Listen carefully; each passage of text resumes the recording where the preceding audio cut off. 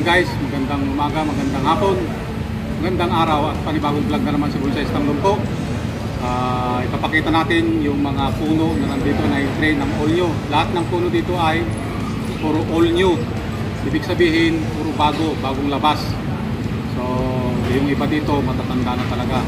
Mga 8 years bago na ilabas. So, camera, ipakita mo kung ano yung kalooban ng mga puno na nandito dito.